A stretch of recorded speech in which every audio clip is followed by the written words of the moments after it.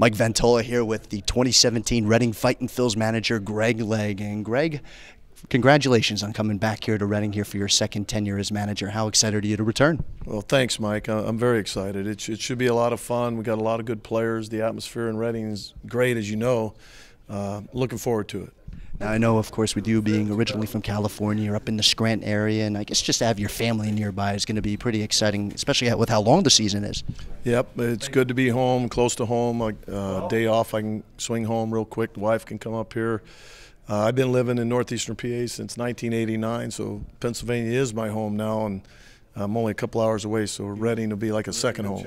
Absolutely, and I know you were last year, 2002 through 2004, but you were in Clearwater the past few years, had a lot of success down there, and getting the Threshers to the playoffs. And you, are you hoping to see that similar result here in Reading? Well, that's always a, a bonus uh, if you can get a playoff team. Uh, the teams that are in our league, they have a lot of good players coming up here. We have a lot of good players as well. We should compete, fun for the fans to watch.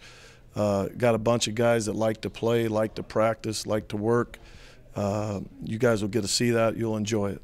No, and I know uh, everybody, every fan wants to know what's your managerial style like, especially for those that haven't uh, seen you, or at least you know since your last visit here when you were back here in the early 2000s. And uh, what is your style? Well, I try to give the players uh, a lot of freedom as far as what their skills are.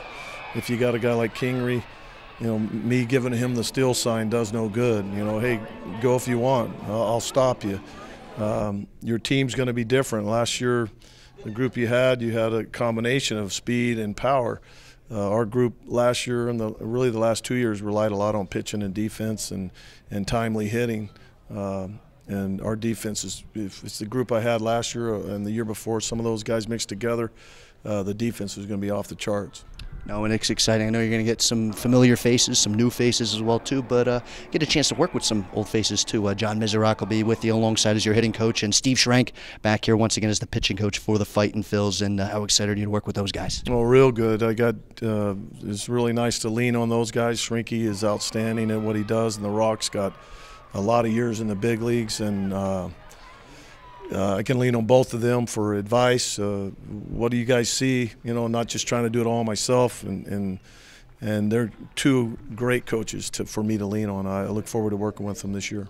Well, Greg, we are excited to have you here in Reading and excited to work alongside with you all season long. And hopefully, you can bring the Fighting Phils back to the playoffs here for another 10 years. So, uh, thanks so much for joining me. That'd be awesome. Thanks, Mike. All right, that's new Fighting Phils manager Greg Legg. I'm Mike Ventola. Thanks for tuning in.